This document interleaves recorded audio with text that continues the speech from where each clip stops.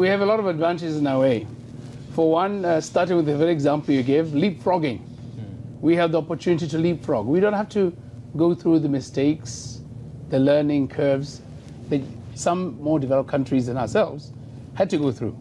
We have the advantage of having a very youthful population, and we want to turn this into an opportunity for us, not just for market, but for retooling, skilling, digitization, and energy. So the length of time you'd have these huge numbers of young people available to do work as opposed to an aged population is so much better. We have the advantage of time and space. We are Botswana in this time in history. It's an exciting time. I mean, imagine if we didn't have digitization. Uh, you can be connected to any part of the world in less than a split of a second. And that's a huge opportunity. We also have the advantage in that we have a much friendlier environment for development than used to be the case.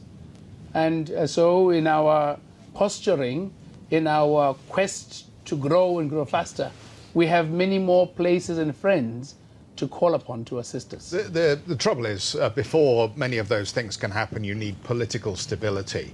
And at the moment, we're, we're in a moment where the opposition is challenging the election result. You've tried to dismiss the UDC's perspective, but there will be a ruling later this month, I think, on where this now goes. Is this holding back the, some of the opportunity for the government to actually focus on the economy? You're now in the midst of a, um, a, a, an issue of political uncertainty, which will make policy quite difficult to implement. I wish you were from Botswana like I. What you speak of is really uh, caricaturing Botswana as if there was instability. For us, it's totally normal. We have always been addicted to the rule of law. And so for every citizen, they know that if you have a challenge, if you have a dispute, you go to the courts of law, it'll be settled. So when matters are before the courts, life goes on. Before I left home, I went through the budget speech that's coming. We have drawn up our budget. We're ready. We continue to serve our people and country. If the court pronounces in any way whatsoever, we will abide by that ruling. If they want us to go for a by election or re election, we will do it.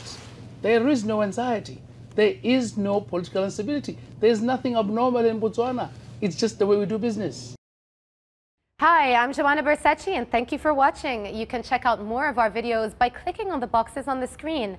And don't forget to subscribe to our channel for more from CNBC International. Thank you for watching.